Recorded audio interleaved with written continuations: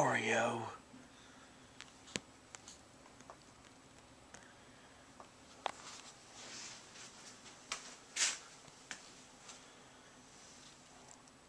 What do I do with this leftover food?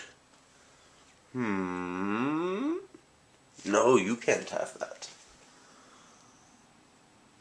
Pixie, what do I do with this leftover food?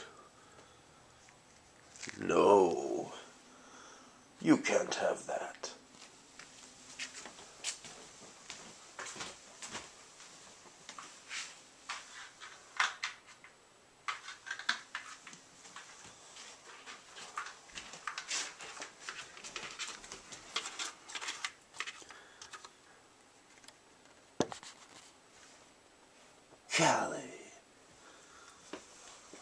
What do I do with this leftover food?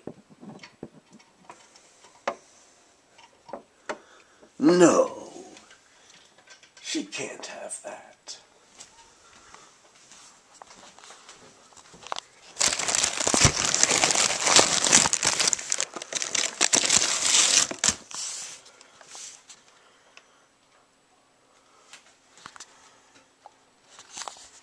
Thank goodness for Marshall Ferret Food. Helping owners get their ferrets out of couches for 23 years. I don't know if it's actually 23 years, but go Marshall.